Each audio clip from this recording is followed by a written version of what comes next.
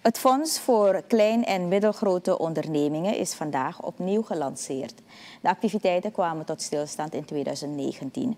Twee jaar later maakte een nieuw gekozen bestuur er werk van om dit fonds weer te activeren.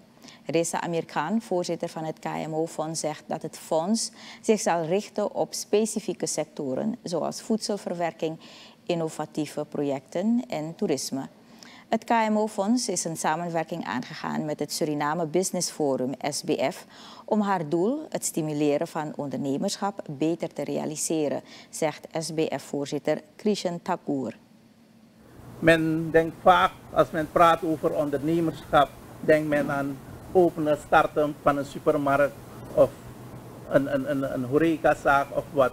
Maar er schuilt nog heel wat achter.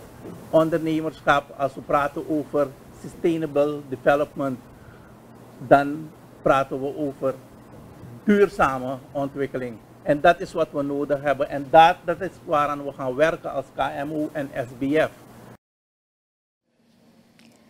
Minister Saskia Walden van Economische Zaken, Ondernemerschap en Technologische Innovatie zegt dat de economie groeit vanuit ondernemerschap. Daarom vindt ze het belangrijk dat de regering ondernemerschap stimuleert. Het zijn de ondernemers die functioneren als wielen om de economie vooruit te brengen.